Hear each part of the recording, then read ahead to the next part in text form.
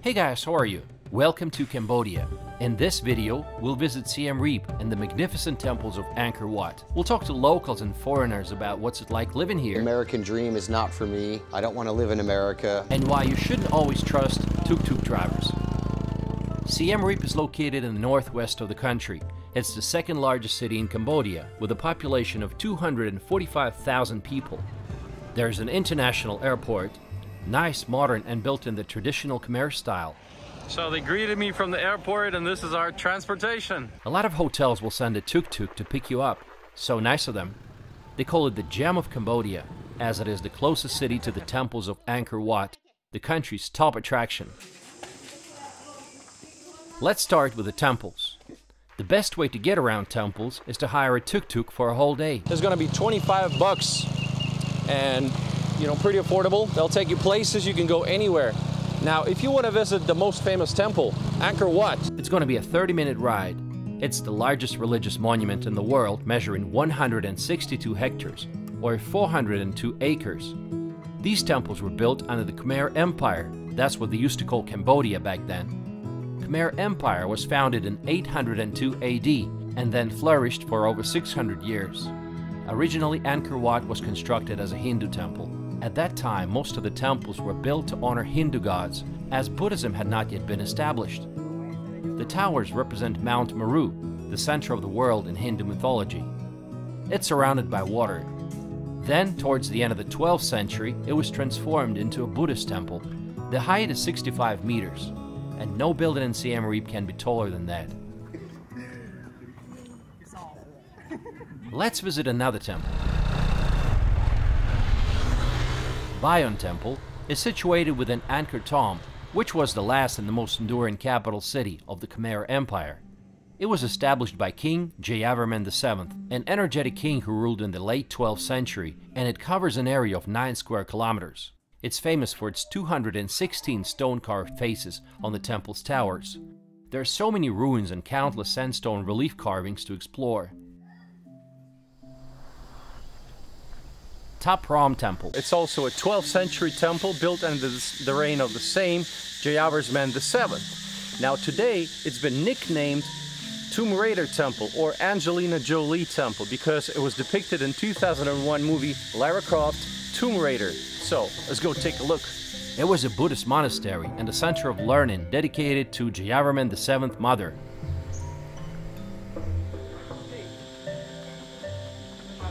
Okay, we made a quick stop for for some drinks, for some fresh, um, you know, cold water. Along the roads, you'll see a lot of these markets that sell coconuts, water, and uh, I just want to know what it's what's it like running a business here. So let's ask these ladies, what's it like?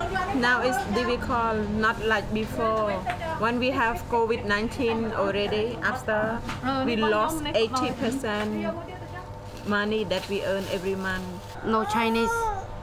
Chinese not yet come. Ah, Yeah. okay, in Chinese. Yes, before we business with the Chinese, like many Chinese come Okay. and Chinese like drink coconut and shopping. What time do you start work in the morning? Seven, Seven. What seven Time, or eight, what time do you finish? five. Seven to five. Yeah, How many days per week? every day for like seven day a week. Seven days a week. Yeah, For a hundred, maybe hundred dollars profit after everything's paid for. As you can tell, it's not easy running a business like this, but at the same time, they also facing a lot of challenges, and that is this area, the land they're sitting on, is being redesignated for different purposes, and they're being forced to move. And Al will tell you more about it. Yeah. So more than ten thousand families that have been living here for many, many years. Uh, are now forced to move off their land and to a nearby property called Runta Ek. Here they could make a little bit of money from tourists. Now they'll have no tourists there and no means of an income. So it's a massive question mark to find out where they're going to be in a few years. Wow. How old is the baby? six, six, six months. Six months, okay. Let's visit another temple. Preah Khan Temple was also built by King Jayavarman VII, but this time to honor his father. It's one of the lesser known temples. It has been left largely unrestored, with numerous trees and other vegetation growing among the ruins. In front of many temples, you'll see rows of these statues, and they represent on one side a row of gods, and on the other side a row of demons. and they're constantly battling, and it's called a tug of war between them. You know, how do you know who's the demon, who's the god? It's uh, the happier, happy faces are the gods, the unhappy faces are the demons. Next is Prerup Temple, and my friend Al is going to introduce it. Hello, welcome to Prerup Temple. This temple was made in 961 and 962. It is a Hindu temple, and they believe that it was used for uh, cremation, so it was a funeral place. They used three different ty types of stones. We have sandstone, we have bricks, and then we'll show you later, uh, made from laterite. And laterite is like iron, you said. Yeah, very porous, but a very strong stone. It's difficult to make it look pretty because it has so many holes in it. That's why they use the sandstone, because it's easy to make it look pretty. Yeah. Neak Pean Temple. It's a tiny temple built again by King Jayavarman VII. It's a small temple sitting on an island of a huge water reservoir, and it probably represents Anavatapta, a mythical lake in the Himalayas whose waters are thought to cure all illnesses. It's like an adventure, you know, going from one place to another. I can, I can call it temple hopping, almost overwhelming with information, but it's just so interesting. And the last temple we're going to take a look at is Ta It's yet another temple built by who? Yes, Jayavarman VII, of course. One of the greatest kings of Cambodia. He defeated a few of the neighboring enemies, and he also put a lot of effort into construction and building these magnificent buildings. This temple is one of the most remote ones. One of the reasons to visit it is that you might get lucky to see pileated gibbons. I wasn't lucky though. I'll tell you what, going from temple to temple is just so not easy. I'm so exhausted right now, and it's the second day that I've been doing this. The number of temples in the area is just mind-boggling. A temple's pass for three days is around $60. Alright, back to Siem Reap.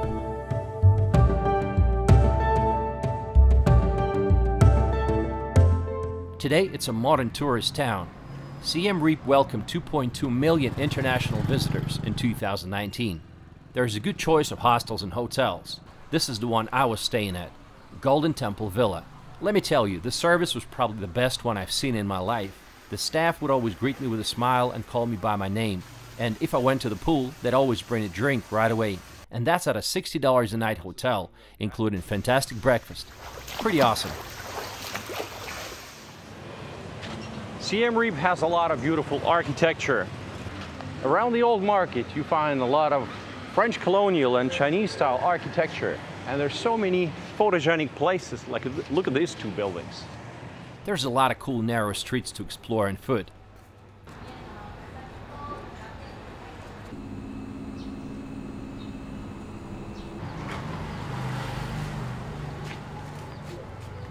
Is there much to do besides the temples? Siem Reap has a pub street with bars and discos, but nothing as crazy as in some Thai cities.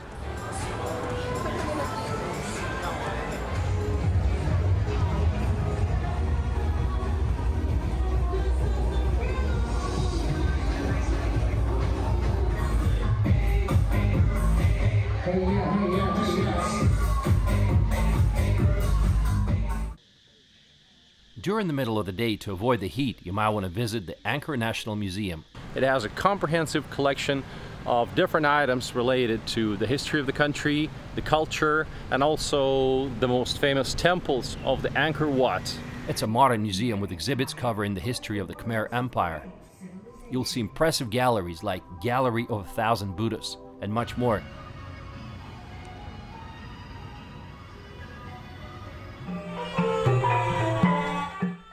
In the evening, you can visit one of the city's Apsara dance performances that comes with the dinner. I loved it. Traditional dancing and fighting, good music and good food. Pretty awesome. Let's give it a watch.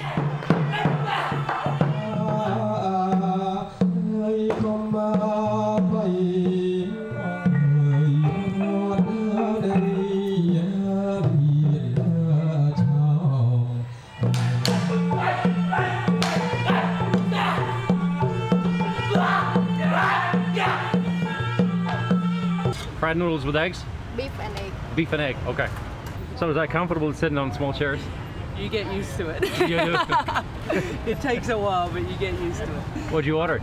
Um, fried katang beef with egg. So some noodles, beef and egg. Okay, is that one of your favorites?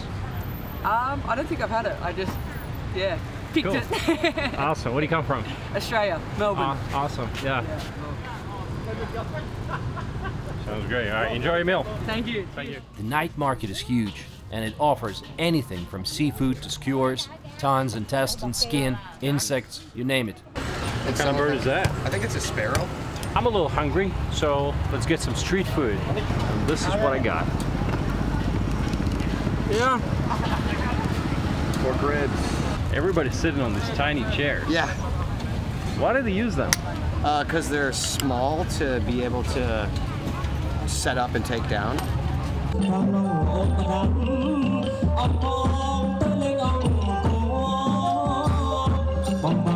you want to try something unusual, you can try silkworms or some grasshoppers. How about that? How much did that cost you? All the fruit? For this one, uh, 13 $13. Thirteen dollars. Thirteen dollars. Okay. If you want to do some shopping, there's a Riverside Night Market. This is where I bought a couple of cool t-shirts. And of course, as in most Southeast Asian cities, there are numerous massage parlors all over the place. And uh, full massage and uh, five dollar one hours. Okay. Uh, thirty minutes and uh, three dollars. Okay. Oh, just three dollars for thirty minutes? Yes, thirty minutes. Okay, so it's really affordable. Am I in your way? Am I annoying you? Of course you are. Just arrived. Good for you. Yeah, yeah, the fourth, fifth time, but it's been a long time. So I'm looking for a nice cozy place to hang out a few hours with Wi-Fi and a beer that's not too hot. Most places are not air conditioned this time of day. Yeah, that's what you're looking for. An air conditioned place. What am I going to do? That, but the Greek place looks inviting again. Anyway. Oh, maybe I'll just sit here. Jump in with the pool. What a great With the idea. fishes. You- Hey, would you mind moving over that way? Or you fish that end? Right. I'm oh, sorry, it's the wrong language I'm speaking. Uh, All right, you uh, guys, you guys have a good day.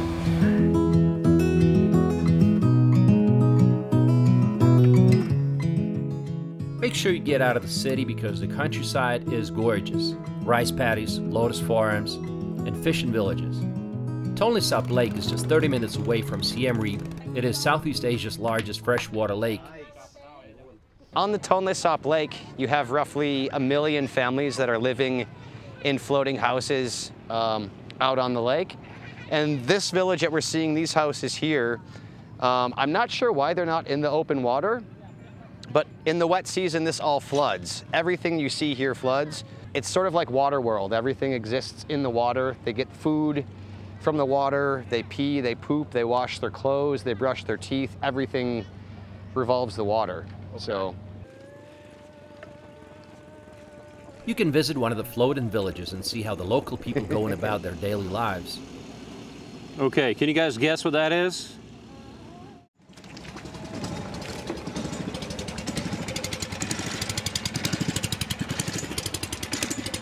So guys, I've kind of been missing Europe, so we are in Venice right now, and it's, you know, it is what it is. It's, it's uh, houses standing on this water, it's like a canal.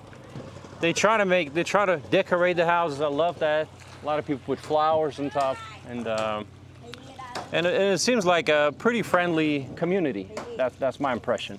People look puzzled. They're like, what are those Farangs doing in this village? This is not a typical place to come. Think once he gets up here, he might turn the engine on and we might go out to see the floating village.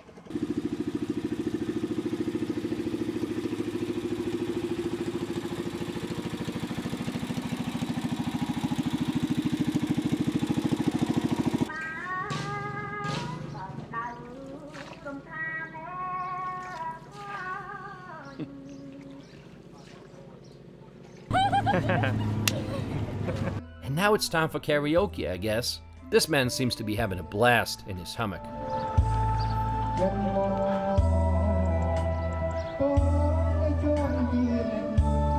I love the entrepreneurial spirit of locals. Hello, welcome, welcome to Cambodian Siem Reap and Cowboy Bar and Feed. So hello everybody, yeah, I'm Soka uh, for me, I always wear a cap like cowboy, something like that. But uh, my place is like a cowboy from Cambodia, not cowboy from Texas. that is a gun, like uh, I took from my farm. Wow. But but it's not real right now. I take something out because in Cambodia not legal, not not not legal. Uh, don't have arms. It's just illegal, you know. Yeah. So I, I'm look like drunk. I'm all drunk on the horse. I don't know where is I going, but my horse know it. Is that in Cambodia? yeah, yeah, it's Cambodia. It's a farm of mine, like three hours from here. I'm driving a bike. okay. Yeah. This is the cowboys, like uh, they are eating with a big chicken.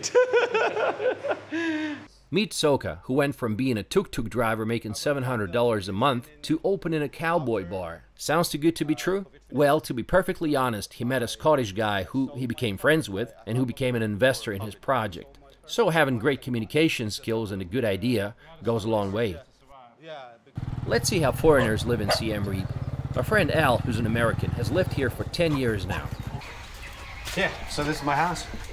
Bedroom, Yeah. Oh, look at you. office, wardrobe, and the bathroom. It's like a mobile home, right? Yeah, I mean, I mean, there's RVs that are definitely bigger than our, than our house. Oh. Yeah, so outside, this was nothing. This was uh, kind of like what you see next door, and we filled, put the fence in, filled it with 25 truckloads of dirt, and then my wife just went to town planting everything. These are coconut trees, seven mango trees, avocado tree, kaffir lime tree. Now that I work from home, I'm home all day. Yeah. It used to be nice to go to work and then come home, sit outside, have a couple beers after work, have a little fire, just kind of stare into the fire. Now you're just working from home like the rest of us. Yeah, yeah. Oh, feels so good, guys. This is a super hot day.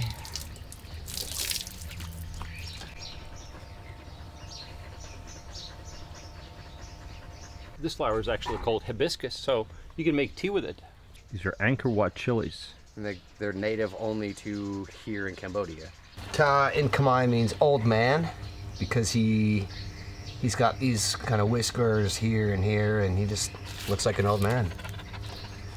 An old dog. Can you shake? Good boy. Wow, you can open it. yeah, so now we have breeze coming through pretty much all directions. Looks like a shipping container. Right. So this is life inside the box. So, how long have you lived in Cambodia? I've been here for about 10 years now. Yeah, initially moved here. Uh, I was living in Jackson, Wyoming, in the United States, and uh, was a photographer wanting to go more professional with it. And I traveled here to Southeast Asia in 2007, so I had a familiarity with Southeast Asia, Vietnam, and Cambodia. And I just wrote a letter that just said the American dream is not for me. I don't want to live in America. I want to be in Asia somewhere doing something with photography. And sent it to any tour company in Vietnam and Cambodia. An English guy wrote back to me here in Siem Reap. He had been living here already for 10 years. Peace of Angkor Tours. And uh, he said, I'm going to retire come pretty soon, so why don't you move here? I'll show you what to do, and you can pretty much take my company over. So I bought a one way ticket. I sold everything in my life and uh, came here knowing one person. And uh, yeah, for eight, nine years, I ran photo tours, bringing people to the temples, teaching them how to, how to use their own camera.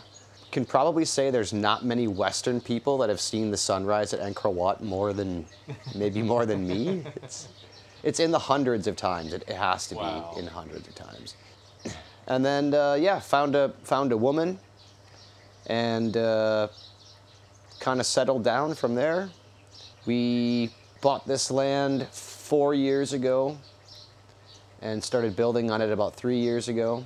Started a YouTube channel, Life Inside the Box, kind of showing the process of what it's like to build a shipping container house here. Everyone thinks we're crazy because they think it's going to be really, really hot. But as long as you use insulation and kind of do it properly, it's it's a fairly affordable way to build uh, housing here. How expensive is it to live here? An average single person living here, I think, if you're making around thousand dollars a month, that's a fairly decent income. You'll have rent, probably $150 a month. Uh, probably, yeah, probably won't be air conditioned or anything super fancy. Probably just a small flat. My first apartment was 50 bucks a month. Oh, wow. But it was a small, like, very, very small space, just enough room for my bed.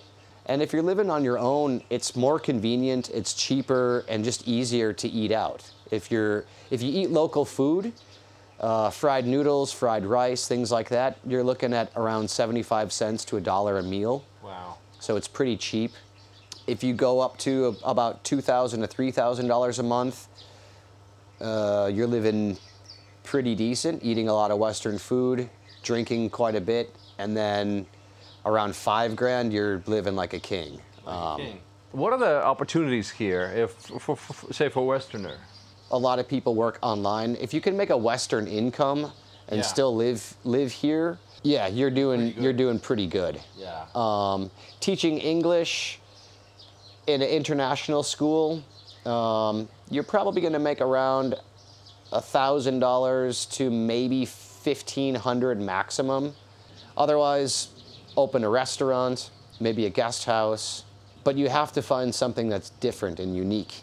Yeah. Um, that's that's the big thing because right now, if you want to open a bar on Sok San, Suksan is a, a main kind of drinking road. Good luck because the whole entire street is nothing but bars. Let's go get some food. Finally, we are at the restaurant.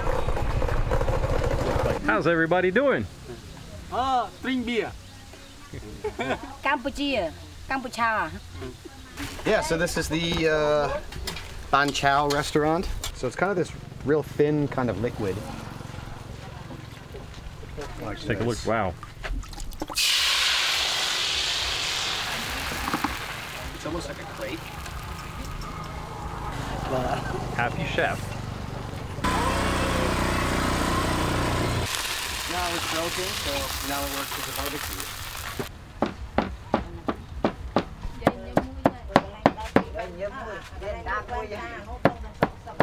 Basil, and I just like to take, rip off a piece of the taco bit, put this in here, and we take some of the leaves, cucumber, and you fold it up, kind of like a taco. You dip it in the sauce. It's not heavy, it's really light, so you can eat a lot.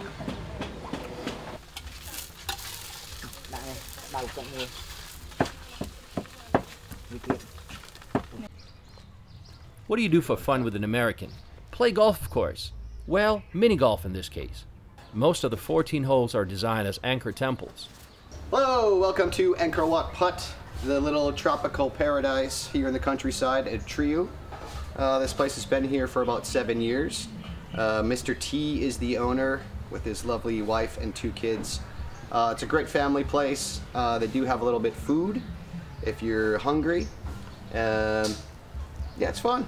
Come on and join us. If you need transportation, you can hail someone on the street. There are literally hundreds of tuk-tuk drivers all over town. There are two apps that are similar to Uber, Grab and PassApp. Be friendly to everybody, but at the same time, don't let yourself be scammed. Okay, I took a tuk-tuk to Al's house and I think we got lost somewhere in the countryside. You know, on the bright side, it's beautiful. One time I got a tuk-tuk to take me to Al's place, which is a little bit out of town. Well, the tuk-tuk driver said he knows where it is, but he ended up taking me through the bumpy country roads among water buffaloes with no clear understanding where we're going. Instead of a 15 minute ride, it turned into a 40 minute ride full of adventures like getting stuck in the mud, where I literally had to push him so we could proceed. Let's do it.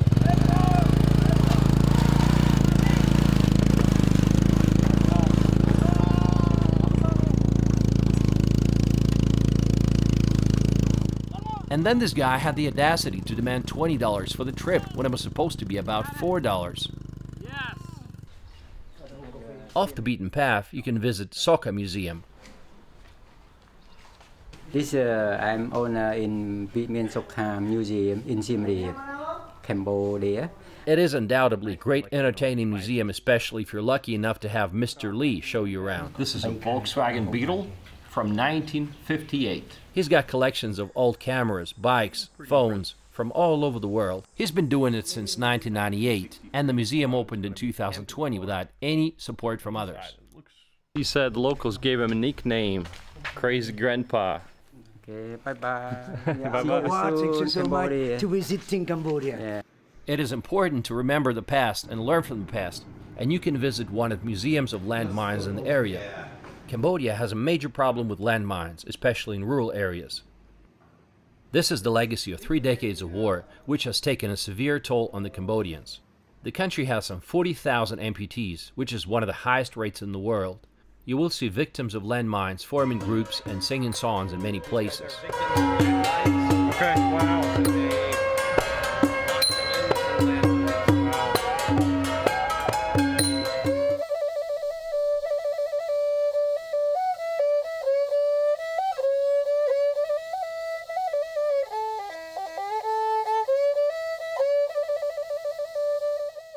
There might be as many as 4 to 6 million mines and other pieces of unexploded ordnance. Cambodia has been through a lot, and you'll see bullet holes even in Angkor Wat Temple. This is from the times the Khmer Rouge communists fighting Vietnamese troops. Let's see what the locals have to say about the times of the Khmer Rouge. I was wondering if your family or some of your loved ones were affected by Khmer Rouge. During the time, like many people died because of uh, um, the leader of the Khmer Rouge. They, they, always, they, they have to kill the people who have education, have good education, Yeah. they will kill at all. Like you wear the glasses, example, you wear the glasses, they will start your teachers or the daughters, and then they will killing you in a minute. They killed Yeah, arrest you and then yeah, and then easy for them for controlling. Yes. Like they, they take one guy, they have uh, uh, no education, they will let him control one group of the people. It's people inside of the group make something wrong, a mistake. Yeah. Even even some people they're like a family of the guy, the, the leaders of the group. This he still killed. Yeah, he still kill, shoot, whatever. He, they, he doesn't care about a parent or aunt or brother or sister, you know? Right. They just listen one guy. It's the leaders of the. Rouge. Very bad time of the Oh, Khmer. absolutely, absolutely. And otherwise, economics, zero. Other things, zero. Nothing. Right. And now we have a better, we're good, but still, yeah, we can say it's good, but still something's bad as well because, yeah, for the leaders, same same. Yeah, I don't want to talk more about these things. Before you get arrested, you can't talk about it. Yeah, I just, I just saw like something.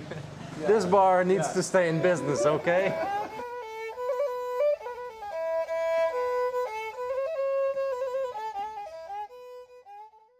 What are some of the challenges of living here? It's not an easy place to live for the average person because things like air conditioning, health, sanitation, and shopping, and, and things like something simple that I would want, I could just go to a hardware store in America at Home Depot and find 20 different of those things. Here, it's you really have to search. I would say that's probably one of the most difficult. It's just, I would say, convenience. Convenience Okay. is a challenge. But once you kind of get past that and deal with the heat, which is really hot here, the people are extremely friendly. Things are really cheap.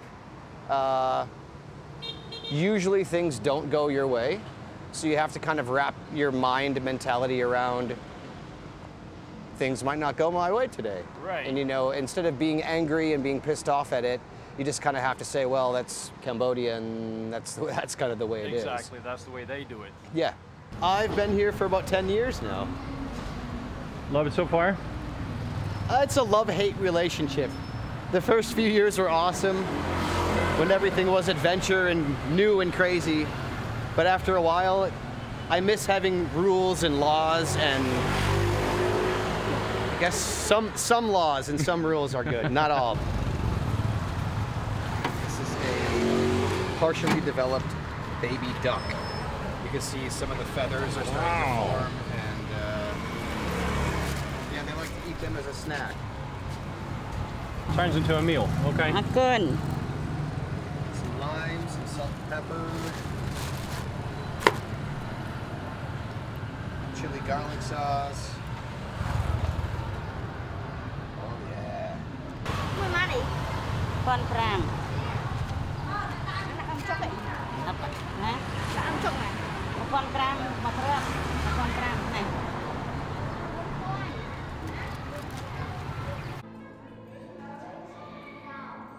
Siem Reap is growing fast. There's a brand new aquarium some 25 kilometers away from the city, Angkor Wildlife and Aquarium.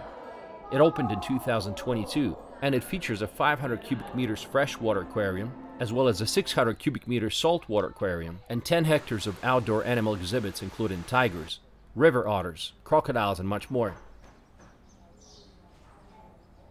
While tourism is on the rise, it still hasn't fully recovered from the pre COVID times. It's not easy right now. Like me, stand by almost around 8 o'clock in the morning until now, just only get 2 US dollar right Wow. now. I'm sorry. yeah, no worry. I think it's now less tourists, uh, less uh, the tuk-tuk driver a little bit, but maybe around evening, around start from 5 or 6, and there's a lot of tuk-tuk stand by on the street and they are say hello sir tuk-tuk, hello sir tuk-tuk anywhere. Some tourists they said, oh I'm so boring because so many times they ask about hello sir tuk-tuk, hello sir tuk-tuk, something like that. So there you have it, Siem Reap, the gem of Cambodia. Thanks for watching guys, give this video a thumbs up if you liked it, and let me know what you think about Cambodia in the comments. Welcome to Cambodia. Thank you for make for video. So I think a lot of people come to traveling to my country and I'm a Champai. I have to sell like the street food and another river. So you will to come to my place. So I think you know me. Yay! Goodbye.